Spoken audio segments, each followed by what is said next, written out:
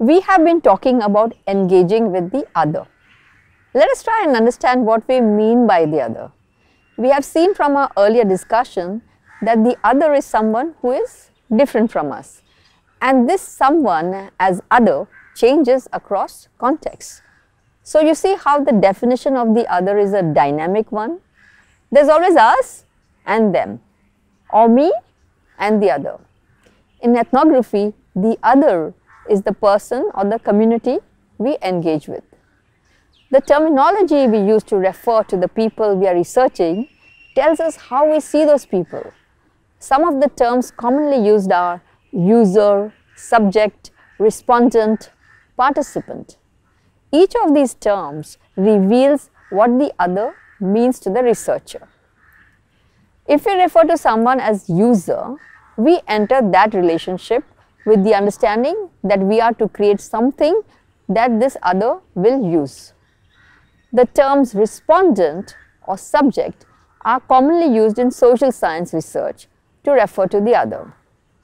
In using the term respondent, we term the other as someone who is responding to questions and cues provided by the researcher. The term implies that the researcher alone directs the course of the research, defining what is to be learned and the role of the other is to provide answers as required by the researcher.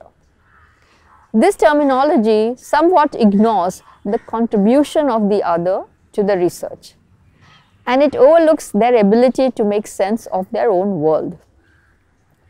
The word subject is most commonly used to refer to someone or something being studied. It somehow implies that the other is a passive entity, unlikely to have much active participation in the study. This way of seeing also keeps us from recognizing and acknowledging their contribution to our research. In each of these ways of relating to those who the research is about, we run the risk of othering them. This may translate into the research having little or no meaning to the people it is about. It may have no value for them and may not contribute to their lives in any significant way. Othering creates inequalities between us and those whose worlds we study. Far from being something harmless and simple, it's an authoritative and complex phenomena that is capable of creating distances between individuals, societies and cultures. Over the years, ethnographers have worked towards building a more inclusive approach. Today we refer to those whose words we study as participants or contributors to our research.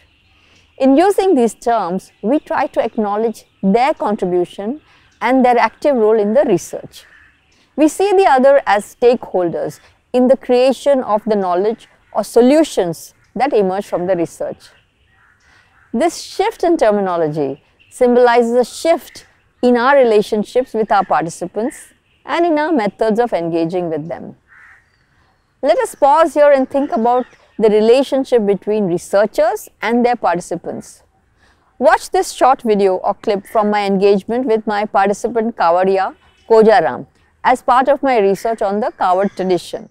आपको ये याद कैसे रहता है याद तो हमारे क्या दुर्गा मैया है हमारे वो कंठी पे बैठती हैं तो उसको याद करके बैठ जाते हैं तो दुर्गा माता है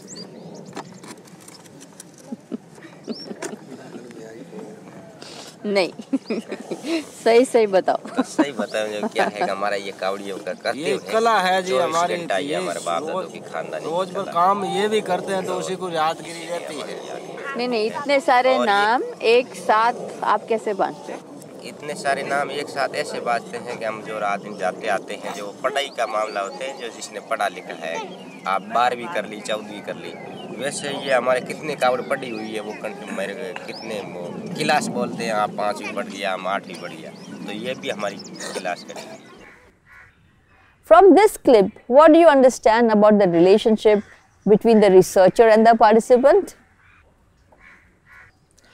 Some of you may have noticed that there is a sense of comfort between the two. They speak to each other as though friends discussing a topic of common interest.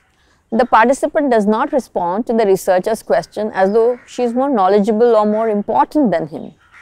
nor does the researcher hold a position of authority over the participant. In fact, both of them seem to be rather relaxed in the other's presence and in sharing their banter with each other. In fact, after this conversation, I realized how our ways of learning are seen by our participants in relationship to theirs. What we are trying to say here is that we need to design our research in such a manner that the process of learning from participants is based on mutual respect and comfort. Developing such a relationship is an important part of our work and we will discuss this in our next section.